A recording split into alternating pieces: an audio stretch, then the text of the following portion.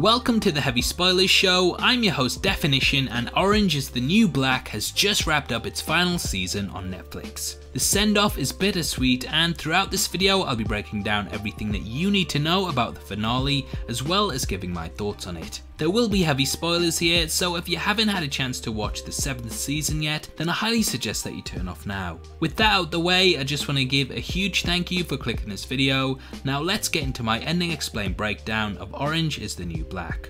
Orange is the New Black arguably had one of the most complex final seasons of a show ever, and throughout there were a lot of ups and downs, especially in the show's finale, that wrapped up pretty much all of the loose ends and gave closure to our favourite characters. The opening packed a huge punch with us seeing Tiffany being taken out of the prison once and for all in a body bag. Tiffany has been a fan favourite from the start, and this iconic image let you know instantly that this finale was going to have several gut punches throughout. One of the major ones comes with Taystee, who's unable to clear her name after being framed for murder. Though she is initially suicidal, she finds a reason to live after becoming a lecturer in prison, and she inspires and drives many to go on and get their diplomas, which gives her a purpose to live once more. This hopeful aesthetic is throughout the season, and the finale is as much about losing hope as it is finding it once more through discovering a new purpose. Nikki goes on a journey and ends up helping detainees contact their loved ones on the outside to show that they have hope and that there will be more to life one day than simply being locked up. This is also mirrored with Piper and Alex whose relationship struggles due to the fact that Alex is transferred. Piper, who managed to get out on an early release, finds her newfound freedom difficult to deal with due to the fact she's been institutionalized, and season 7 was about her coming to terms with the fact that order often kept her in line, and without it she feels unable to truly live the life she wishes to. Alex tells Piper to move on with her life, and though it seems like she may, the season shows that they have rekindled their relationship when Piper visits her once more to show that she's found hope that after all of this is over, the two can be together. This is probably the highlight of the entire show and it cements that these characters, no matter how bleak it gets, always have an opportunity right around the corner that will give them a reason to live and go on. Even Warden Ward, who's fired in the very last episode, is still presented with something new that could perhaps change the way she values life, and thus season 7 is as much about reform as it is rebirth. Blanca also represents this as she's able to overturn her initial conviction and becomes a free woman after suffering for years at the hands of incarceration. She flies to Mexico to reunite with the love of her life, and it's the perfect happy ending that pretty much feels like she's gone off into the sunset to begin something special. Relationships have always made up the foundation of the show, and Monica, who's reunited with her mother Cindy, shows that we can grow together as one,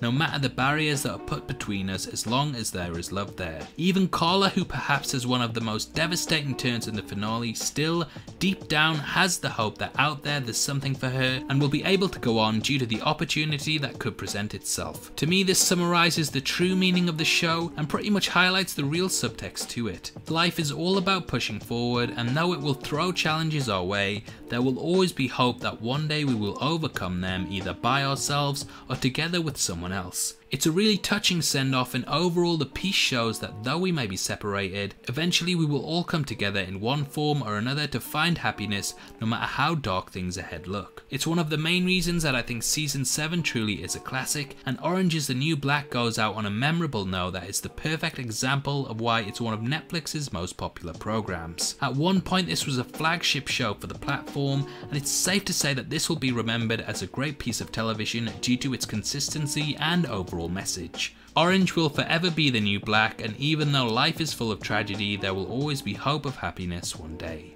And that's my summary of the final season of Orange is the New Black. Obviously, I'd love to hear your thoughts on the finale and if you agree with me or have a completely different take. Comment below and let me know and if you enjoy this video then please like it and make sure you check out my breakdown of this week's other big television release The Boys from Amazon which will be linked at the end. In it I go over the full season and give my thoughts on where the show could go so it's definitely worth checking out if you want to know more. If you'd like to see more of my thoughts on movies, TV shows and games then you can come chat to me on Twitter Twitter at DeffinitionYT. It's the best place to talk to me and I'd love to hear your thoughts on the things I discuss, so make sure you head over there after this. I also just want to let you know that we're giving away a free copy of Avengers Endgame on Blu-ray to one lucky winner and all you have to do is like this video, make sure that you subscribe to the channel and leave your thoughts on the Orange is the New Black finale in the comment section below. The winner will be announced on August the 10th and the Blu-ray will be shipped out from then to whoever gets the prize, so best of luck to everyone who takes part. This is a channel for people who are never missing television, so if that's the kind of thing you like, you need to subscribe to Deffinition. Thanks again for taking the time to watch this, you've been the best and I'll see you next time. Take care, peace.